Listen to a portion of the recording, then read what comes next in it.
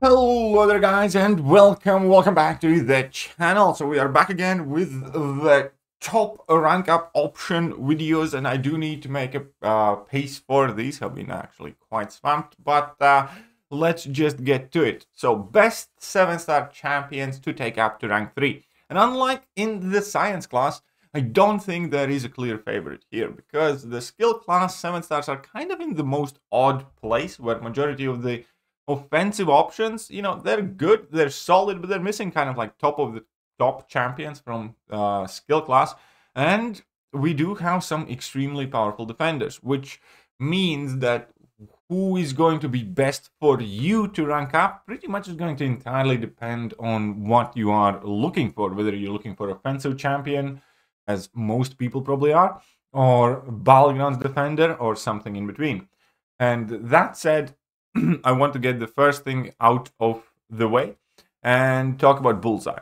Bullseye is going to be a solid rank up option because at the moment I would be hesitant to rank 3 Bullseye. That's why I'm not going to feature him in this video. Uh, because Bullseye is still subject to balance change, and Bullseye probably is arguably the most likely case for a tune down that we can see defensively and potentially a tune up offensively. So we do not necessarily have a great idea whether it will happen, and if it does, what are going to be changes that are made to him. So I personally, if I was so lucky to pull a 7 star Bullseye, would probably, you know, take him to rank 2 and leave him there for a bit until I know for sure what is going to be his fate. So here, the best like rank options, champions that I'm considering. And again, this is going to be in no particular order for this video specifically, because there's just such a huge, huge variety. Because we have kind of like three champions in one group.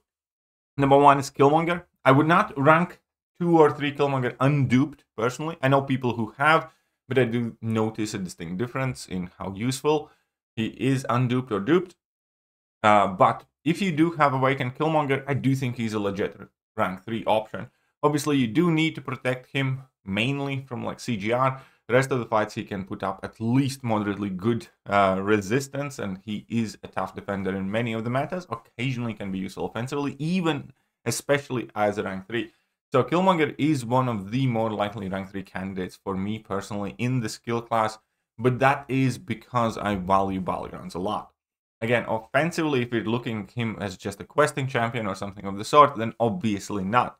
However, again, some of the best options, in my opinion, skill class are more so defensive options, which will not fit for everybody. So I do think Killmonger is definitely worthy in this top 7 list, but he should be awakened for that. Next up is Korg. Korg is... Korg's Korg.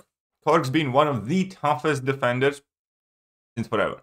Again, I would not rank 2 or 3 him unawakened, but uh, even at 20 or 40, I think he's worthwhile rank up because, you know, the shrug off, yes, it happens less often, but you still never know when it's going to happen. It can still catch you out.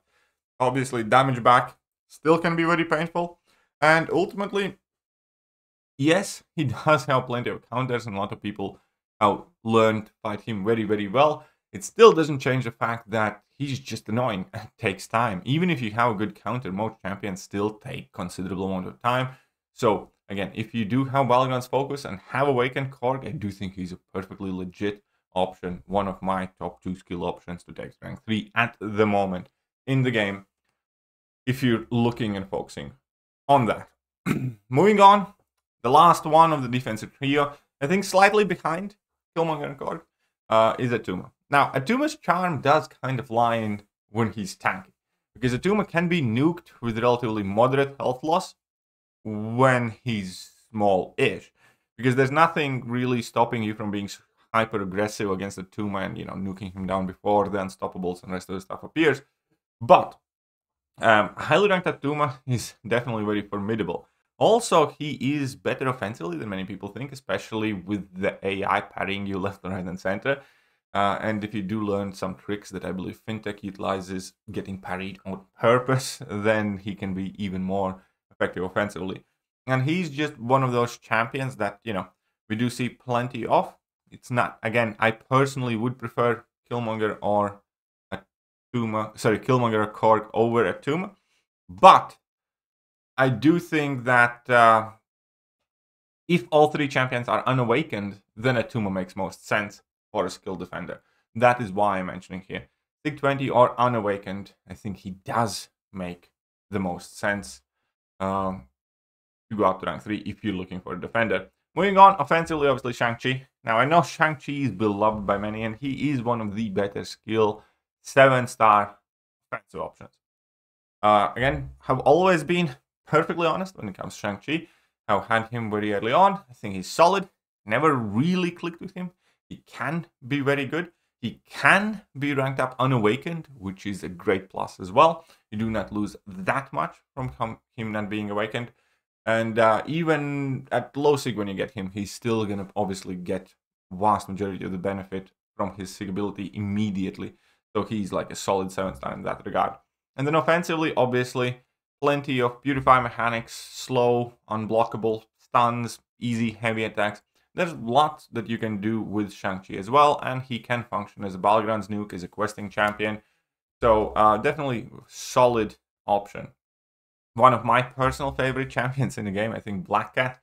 Uh, now the thing with Black Cat is that with her, I don't think the improvement will be necessarily as high as with somebody like Shang-Chi or some other champions on this list, because most of the things kind of typically die after the level 2, and your fight times in short fights will not change that much with Black Cat from rank 2 to rank 3.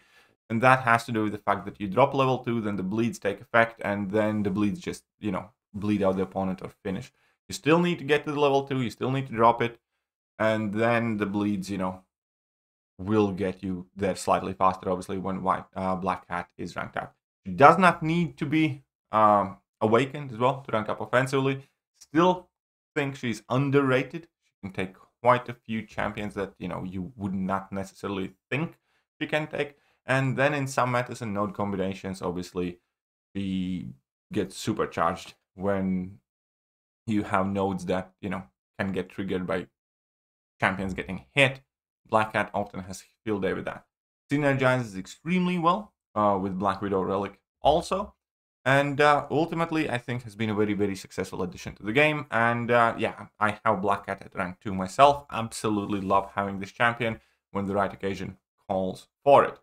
Now, moving on, I think Chillt. Now, Chillt, again, I don't necessarily think Chillt would make it to this list in, you know, some of the other classes. But again, we are in a very weird situation with skill class in general. And Chillt is one of those champions that I believe will often find places and and matchups and fights where she can do greatly. Counter unstoppable, relatively well. She has access to a lot of bleed damage. She has cleanse. Uh, she has tranquilize, and additionally to all of that, she can block for days. And she's built like a tank.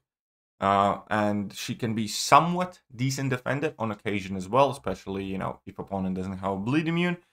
And uh, in general, the way I describe Shield is she's solid. I don't think she's up there in general with overall case of the champions. I don't think she's, you know, anything to scoff at either. I think she's a very well built, solid, solid like two-way champion that is not necessarily the go-to option for everything, but there will be times and there will be places where Shield is virtually the best option or one of the best options and overall, when you do take somebody like Chillt rank 3, you can throw her on defense because, again, she's tanky and has cleanses and, you know, has things to play around. And offensively, too, given how powerful is the science class, given how well she can do in some of the outsized matchups as well, I think she's very much so worth considering. If I pulled a skill rank up gem, um, again, I would personally go for either Kill Killmonger or Korg. But if I was looking for more of an offensive input in my account, I think Chillt would be up there as well. And then moving on, we have Mantis, which I consider to be, well, arguably if I need to put every single champion out there and, you know, gun to the head, forced to rank them. Oh, Chillt also does not need to be awakened. Just a quick point out.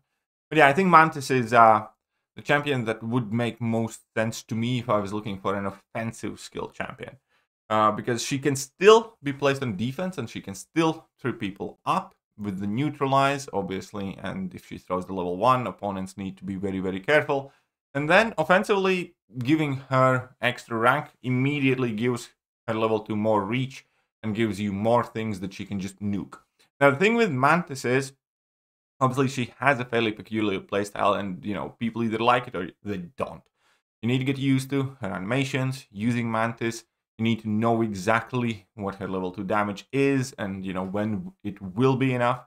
There are a few rotation tips and tricks that you do need to be aware of how you can you know charge a heavy attack chain that into a relic and then charge your heavy attack again and then level 2 and so on and so forth.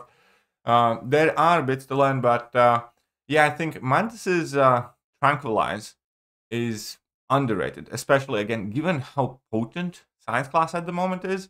Um, she would be the more offensive champ. Well, I, I personally like Black Cat better, but I do think Mantis is better because she's slightly better on defense, and I do think you know her being better photon counter and her completely shutting off science champions, especially as defender as well, uh, has quite a bit of value in that. And yeah, does not necessarily need to be awakened either. So those are the best skill rank up options in my opinion. Next up, we are going to be taking a look at mutant champions, and uh, mutant champions have a fairly different situation because we have clear favorites there. That said, I hope you guys enjoyed the video, and I'm going to catch you guys soon. Bye-bye. Hello there guys, and welcome back to the channel. So, we have all the information about